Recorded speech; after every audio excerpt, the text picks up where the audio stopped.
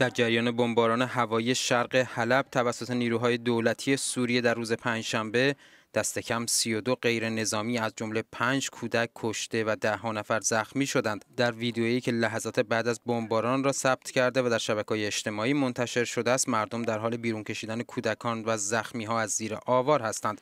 دیدبان حقوق بشر سوریه گفته است که روز پنجشنبه منطقه تحت کنترل شورشیان در شرق حلب با بمباران مداوم نیروهای دولتی مواجه بوده است. شدت حملات نیروهای دولتی به مناطق شرقی دومین شهر بزرگ سوریه در ده روز گذشته باعث کشته شدن دست کم 188 غیر نظامی از جمله 27 کودک شده است. حدود 250 هزار غیر نظامی در شرق حلب تحت محاصره نیروهای دولتی هستند.